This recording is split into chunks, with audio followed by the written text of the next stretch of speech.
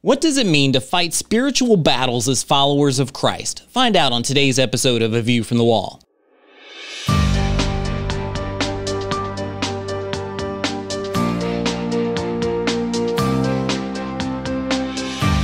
Join I Am a Watchman Ministries managing editor Joe Kerr with co host Dylan Burrows, bringing you a fascinating discussion regarding the importance of Bible prophecy and Christian living today as it relates to our responsibility as believers to be watchmen. This is A View from the Wall.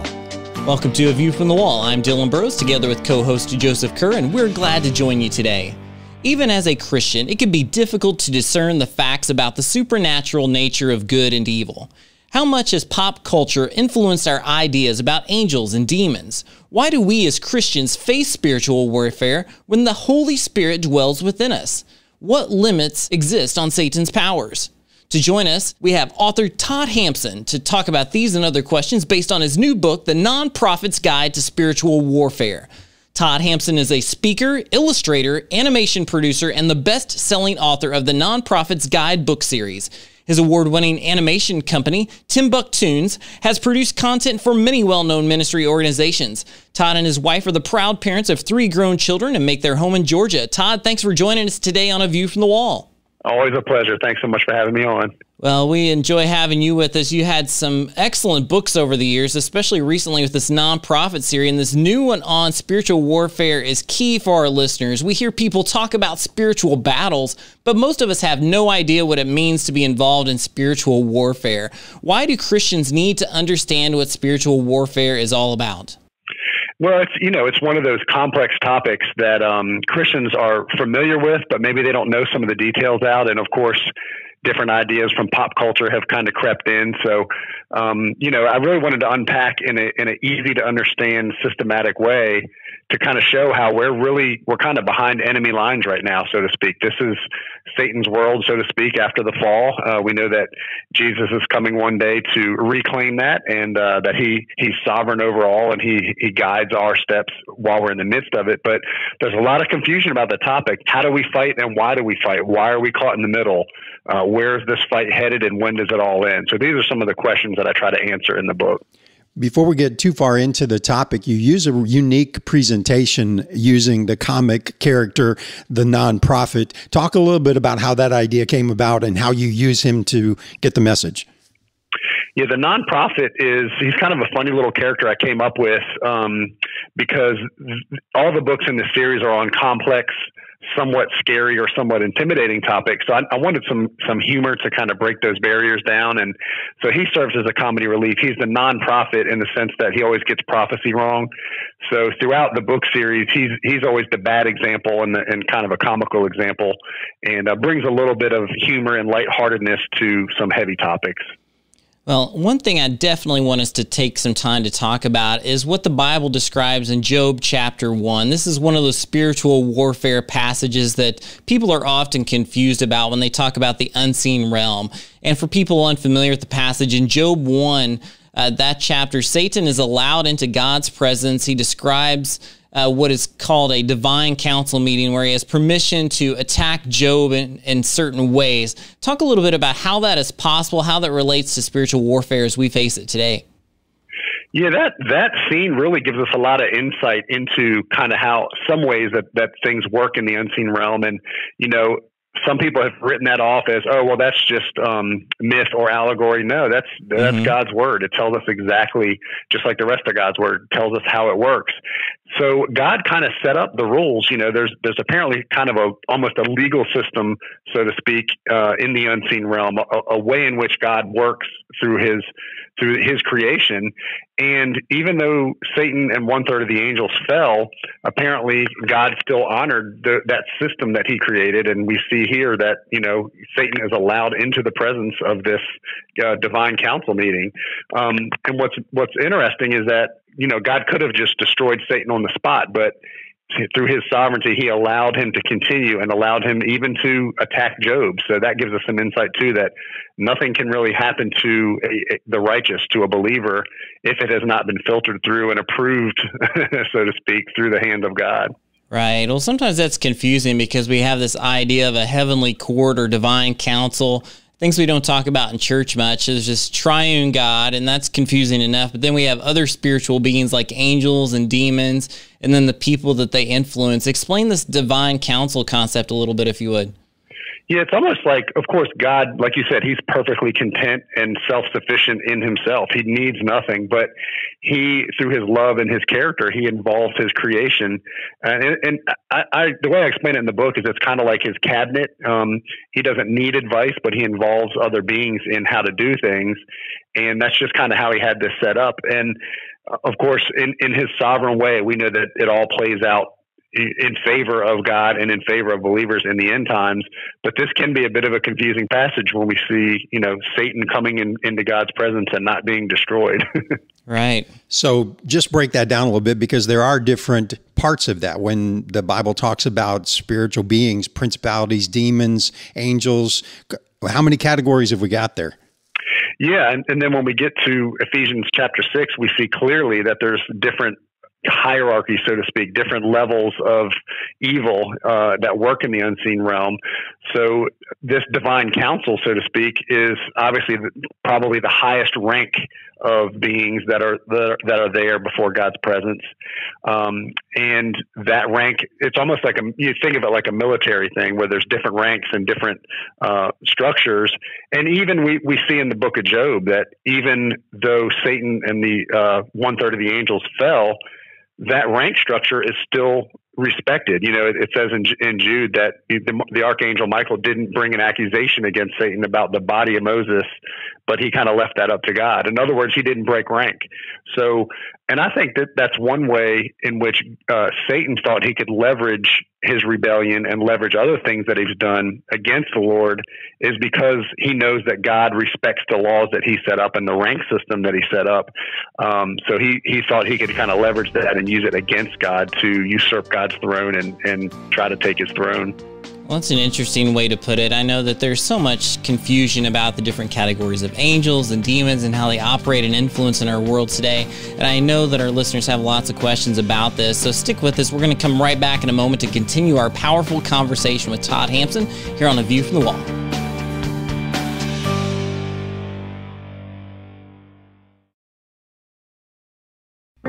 From I Am a Watchman Ministries, here's today's I Am a Watchman Minute. I'd like you to think about Mary, the mother of Jesus, and how difficult it must have been for her to tell her parents and Joseph that she was expecting. 2,000 years ago, a pregnant, unmarried teen in Israel could be cast out from her village, perhaps stoned to death. I'm sure her parents asked her, How did this happen? And though I don't know for sure, I imagine Satan whispered to Mary, Just lie. Tell everyone you were assaulted by a Roman soldier. An assault was possible. It was actually a more probable scenario than claims of an immaculate conception. Mary, just a little lie, and all your problems will go away. The temptation to lie can be great, but speaking truth honors God, and when we live to honor God, God will honor us. Be bold, be faithful, be a watchman. I am a watchman.com.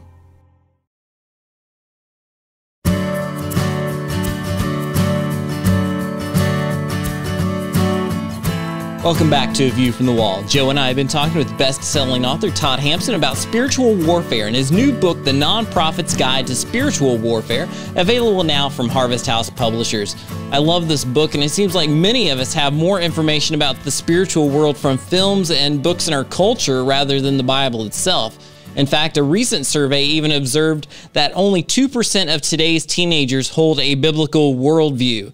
So we want to talk a little bit about this. So, and begin, Todd, would you share for a moment how has pop culture influenced the thinking of the average person about spiritual warfare?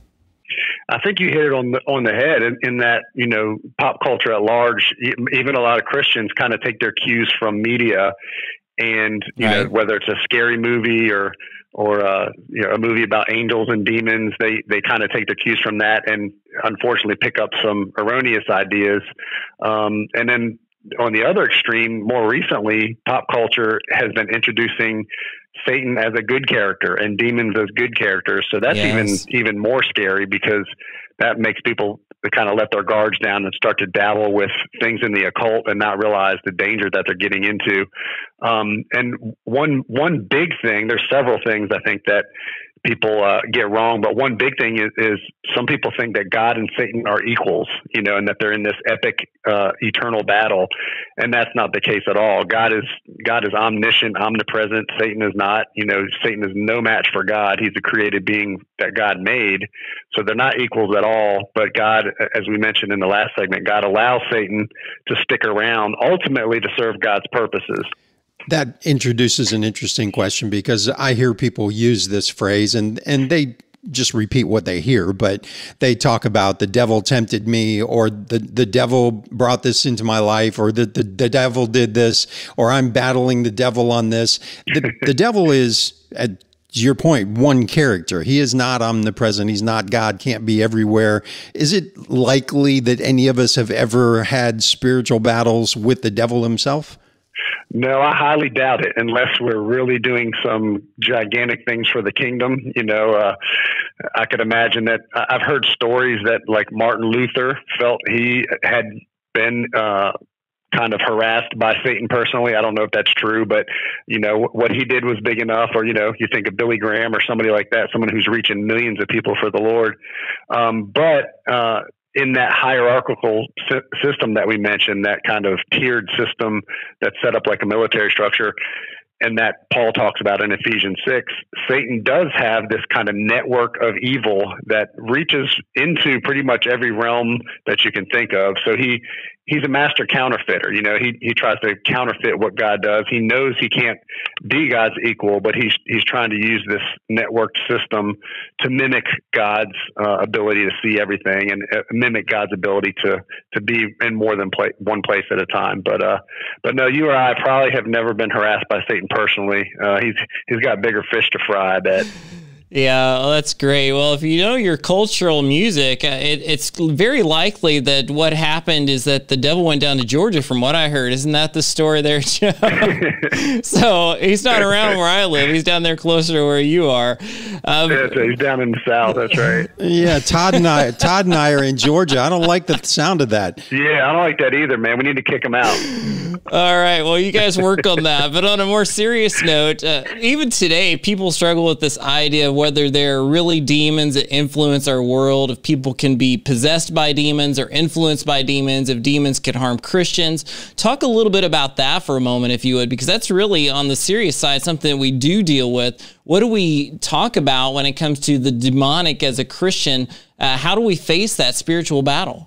That's a great question, and and there's kind of two extremes I've seen. One where people don't really realize, even Christians don't realize that uh, demons are active in our day. You know, because they don't see you know something spooky coming out of the closet. But I right. think in America, where uh, you know Satan's able to use more subtle means to keep us from being effective for the Lord. He doesn't have to reveal himself, so to speak, or, or the demons don't have to reveal themselves.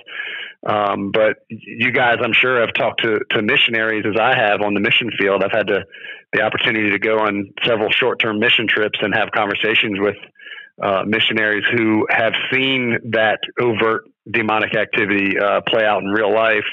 But most of us don't see it to that extreme. And then the other extreme I see, aside from people thinking that demons aren't active at all, is that there's a demon behind every bush, you know. Right. And uh, you know, I, if I've got uh, a, a, cold, I've got the it's because of the demon of post nasal drip, you know. So they kind of blame demons for everything. So I think it's uh, a good. You need to find the balance between those two, and really look to Scripture to inform, you know, how we know something is overtly demonic or not.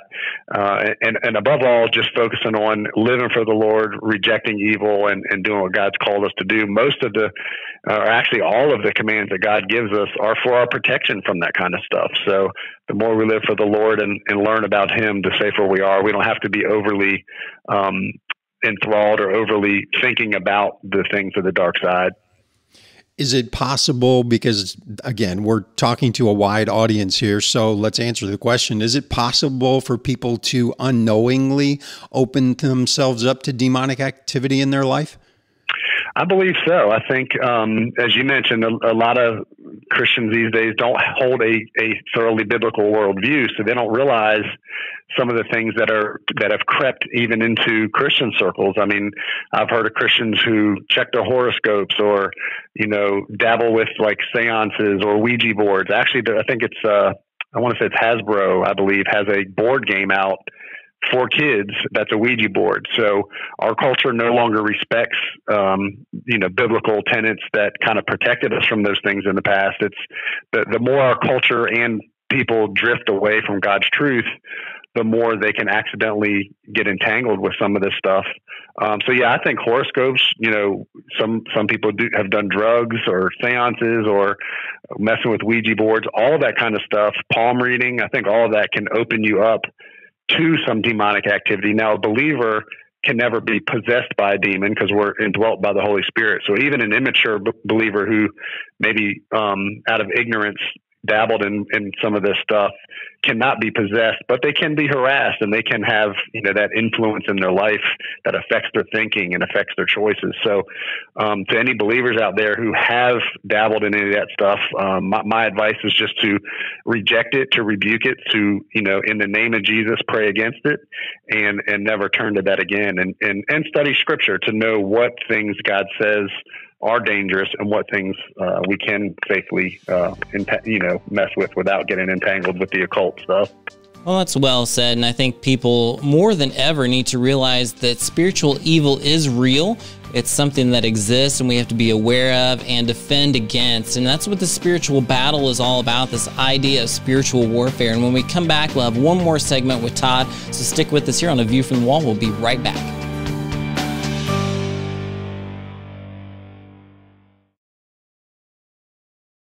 The Bible predicts the rapture of the church is coming. Are you ready? Soon many will be caught up to meet the Lord in the air. Only they will escape the dark days that are coming, a time of tribulation that will usher in the Antichrist and great destruction upon the entire earth. There's only one escape, one way, one light, one truth. His name is Jesus. He came and died so that we may live forever with Him. But to receive this new life, there are three things we must do the ABCs of salvation. A. Admit you're a sinner and that you need a Savior. Ask for forgiveness and receive His grace. B. Believe that Jesus is the Son of God, that He came, lived, died, rose again, and will come again. Believe that He is Lord and God. C. Commit to walk His path the path He wants you to walk, and walk it out by faith. Then you'll be ready for the return of the Lord. To learn more about the rapture and how to know for sure, visit AmIRaptureReady.org.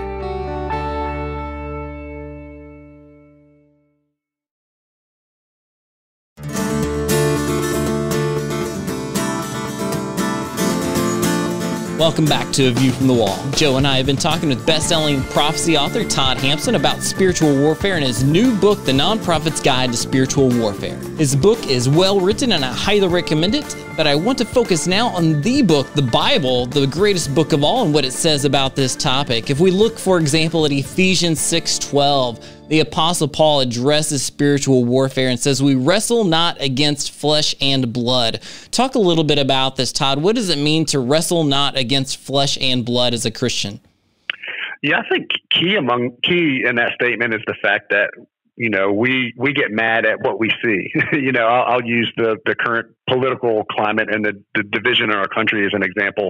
Yes. We see people with some crazy ideas and trying to divide the country and a lot of chaos going on and that kind of thing. And it's easy to look at them and get mad at them or to or to wonder how they got so deceived in their thinking or or things along that line. But when we realize there's actually something deeper and darker behind the scenes that's influencing that kind of thinking and that kind of action, that really these, these people are not our enemy. They need the Lord. They they're deceived by the darkness, so to speak, and uh, we really need to pray for them and remember that the real battle is in the unseen realm, and our real fight is with the, the evil forces behind the evil that we see playing out in our everyday uh, life. Um, the enemy is in the unseen realm. That's the main thing to remember. And and if we remember that, that helps us. Number one. uh, remember where the battle is and also not grow, you know, any hatred towards any people. It helps us, you know, keep our eye on where the real battle is and helps us to know how to pray. Your Non-Prophet kind of stumbles with this a little bit. You have some fun with it in the book. Talk about the spiritual armor that Paul talked about. Yeah, he um yeah, I got a couple pictures in there with uh the Non-Prophet with some makeshift armor that's pretty funny and uh he he gets it wrong every time. So there's a there's a few comic strips of him uh just totally messing up the idea of the spiritual armor. Um but fortunately Paul does not do that and Paul gives us some really good information in Ephesians 6 about the spiritual armor. And he's using the analogy from the, the, the, armor that the Roman soldiers had in his day. And of course, Paul was very familiar with that, seeing them around and also, you know, even being imprisoned and chained to Roman guards. He, he, he saw the armor firsthand and knew how it was used. But he talks about the, the belt of truth, the, the body armor or the breastplate of righteousness, the shoes of the gospel of peace, the helmet of salvation, the shield of faith, the sword of the spirit, and and ultimately he also mentions prayer. That that prayer is kind of you know that's where the battle is fought and won, so to speak. Um, but the the sword of the spirit is the only offensive weapon we have. But uh, so we have to know Scripture in order to use it. The sword of the Spirit is the Word of God. Um, but interestingly, the armor starts with the belt of truth, and that kind of holds everything together. The, the body armor fits into the belt of truth, and the, the sword hangs from the body armor. Um, so the, the belt is really a key thing. So, so truth, God's truth, is central to our protection, as is being truthful. Um, and when you look at each piece of the armor, there's kind of a two part uh, thing to it where part of it is what God has imputed to us, so to speak, like the belt of truth. It's God's truth, but also we need to take action to be truthful and people of integrity, uh, or the you know the helmet of salvation. You know, we it protects our thinking. The uh, the shoes of the gospel of peace. You know, it gives us stability, knowing that we're saved, knowing that our our position in Christ is secure. But also, we need to take action and use those shoes, use our feet to take us to share the gospel. There's a way that when we take action, it actually protects us against the attacks of the enemy. Well, that's well said. And one area I want to address that Christians often have questions about is this idea of casting out demons. Uh, we've talked about demons already, but you you might flip to a Christian channel and you see somebody trying to cast demons out of this and that, and you wonder if that's something that God calls us to do today. Or on the other extreme, you think, oh, that's not a big deal. God took care of it all. We don't have to worry about it. I mean, what does the Bible really teach as far as Christians now? How do we deal with uh, demons in the demonic realm? Do we just pray about it? Is there a role where we, you know, speak out against demons? What does that look like for Christians today? I do believe we can pray against evil in the name of Christ. Like I mentioned, some of those missionaries that are on the front line seeing some really overt, crazy demonic activity. Um, we we as believers, we we're not strong in ourselves, but we have the authority of Christ in us so we can, uh, and we can't cast out demons or, or command demons to do stuff, but we can pray against evil in the name of Jesus. And I believe we can also, you know, there's a verse that actually says, submit to God and resist the devil and he will flee from you. So oh, really good. it boils down to kind of how the, the spiritual armor is explained and that as we just submit to God in those things and how to, how to use that armor. And then we take action to resist the devil, to resist temptation, to live the way God has called us to, I believe that sends the enemy running. but yeah, I think there's a lot of confusion around that where you see people, like you said, even on the TV, casting out demons uh, for people that they don't even know or just randomly. And that kind of confuses the issue greatly because it doesn't really line up with what Scripture says. Todd, you've been on the program a couple times before. We really appreciate it. You know, we have a large Watchman community out there. What should they know about spiritual warfare and what should their message be to the world and the audience that God's given them? One thing I think that's key for, for Watchmen to know is that this is a topic that does tie directly into eschatology and, and the study of the end times. And as we see the end time signs ramp up, one of the things we're seeing is um, just lawlessness ramp up. We're seeing uh, an increase in occult activity. We're seeing um, just chaos and upside down thinking and all these things that are influenced by spiritual warfare.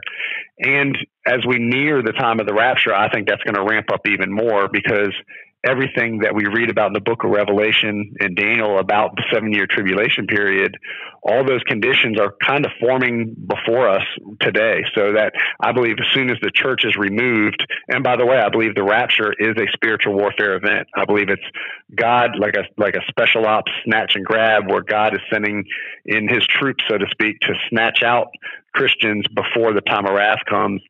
And um, so he's snatching us out of en- enemy territory, and he's coming right into en- enemy territory. Satan is the prince of the power of the air, and that's exactly where uh, we're told we'll meet the Lord in the air, in the clouds. So, um, all that to say, yes, I think spiritual warfare connects directly with being a watchman, directly with studying eschatology and the events of the end times.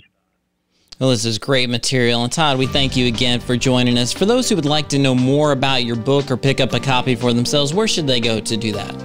Uh, they can go to my website, toddhampson.com, or visit any of their favorite online bookstores to get any of my books. Again, that's toddhampson.com. We've been talking about the Non-Prophet's Guide to Spiritual Warfare from Harvest House Publishers, and we appreciate you joining us for today's program. We encourage you to listen again and enjoy all our programs at iamawatchman.com or wherever you stream your podcast. Thanks again and join us next time on A View from the Wall.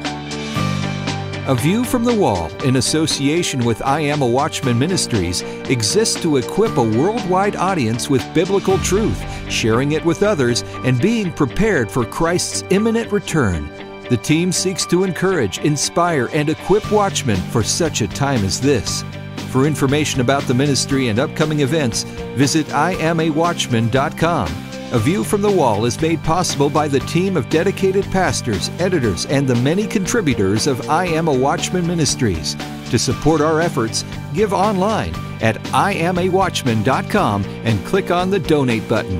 Thanks for listening and join us again next time on A View from the Wall.